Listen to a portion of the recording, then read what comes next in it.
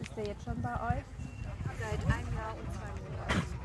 Und ähm, könnt ihr ein bisschen was über ihn erzählen? Was ist so besonders an ihm? Ja, ich fange mal vorne an. Seven, der ist in einer Einkaufspassage gefunden worden, ohne Fell oder mit ganz wenig Fell, total abgemagert und ist dann anschließend in die Liga gekommen für ein halbes Jahr und kam dann mit einem Jahr als unkastrierter Rowdy im Jugendalter, im Teenie-Alter zu uns und hatte ganz viele Flausen im Kopf. Also der hatte äh, anfangs natürlich gerne mal an Schuhe gekaut und viel Blödsinn gemacht. Mittlerweile ist er zwei Jahre alt, ist kastriert und bedeutend ruhiger geworden. Ist ein ganz lieber Kerl. In der Wohnung merkt man ihn überhaupt nicht. Ja, beim Spaziergang ist er auch leinführig, geht gut an der Leine, geht auch an der langen, lockeren Leine.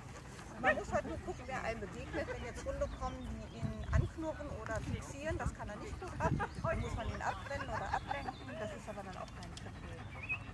Ansonsten kennt er Hundeplätze, er macht Mentrain, läuft am Fahrrad wie nur eins, ähm, bleibt alleine zu Hause, macht nichts kaputt, passt auch schön auf das Gelände auf, ist aber kein Dauerbeller.